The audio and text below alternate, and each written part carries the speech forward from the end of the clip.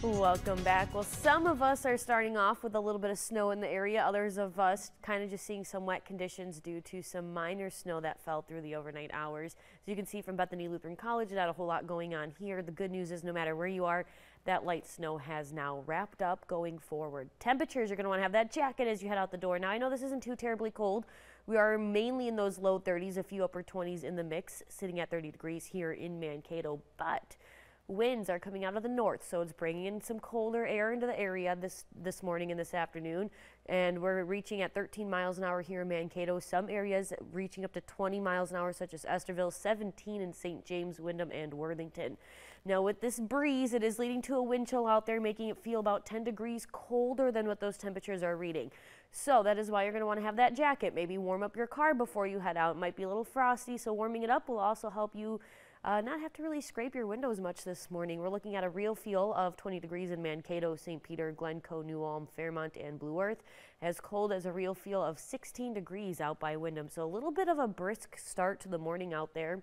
Satellite radar imagery showing that we are mostly cloudy. We had a little bit of snowfall, and most of that snow overnight into this morning fell in areas east and north of Mankato. So if you're going to be traveling along I-35 between Albert Lea and the Twin Cities, or east on 14 towards Rochester, even 90 a little bit, you might have a little bit more snow out there. In fact, I just updated this before we started, and it is updating once again that just goes to show how quickly they update this road conditions as we deal with winter weather. Now I will say this general area where my hand is, we are looking at anywhere from partially to completely snow covered roads. Now here in southern Minnesota, most of them are just partially snow covered.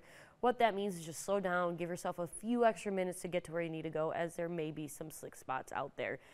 Good news. Let's talk about good news. We talked about some partially snow covered roads, so let's talk about what can end that, and that is sunshine on the way.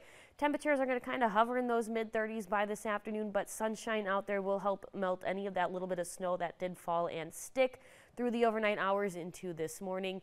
Tonight into tomorrow will be mostly clear to partly cloudy as we wake up, and then we'll see those clouds clear out through the late morning hours, allowing for more sunshine through the day tomorrow. We'll hold on to those clear skies going into Thursday.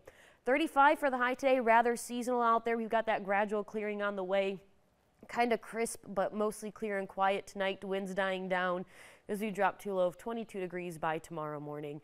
Here's a look at your extended forecast. If you have any last minute decorations you want to get up going forward, starting tomorrow through Friday are going to be the days you're going to want to do that as we're looking at the upper 40s, low 50s with sunshine mixed in. It will be a little breezy, but not too bad out there, especially with those warmer temperatures on the way.